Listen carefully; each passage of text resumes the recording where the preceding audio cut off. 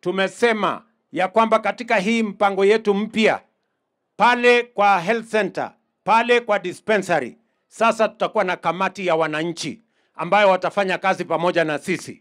Kama hakuna dawa, wananchi watatuambia mapema ya kwamba hapa iko shida ya dawa.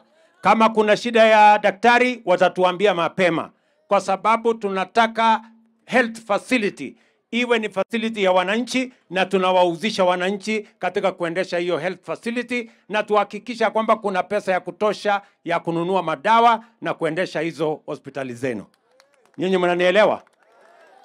Vile vile nyinyi watu wa Nairobi, mliona juzi pale Uhuru Park, tulikuwa watu wa Dagoretti eh? tulikuwa pale Uhuru Park, wale community health promoters elfu saba na mia tatu wa Nairobi.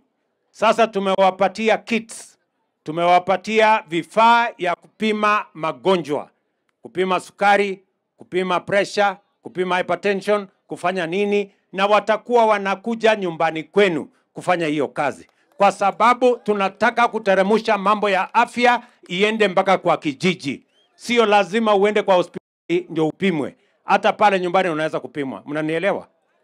Na serikali itakuwa inalipa hawa community health promoters. Pale mbeleni walikuwa volunteers, walikuwa wanafanya kazi bila ya kulipwa pesa.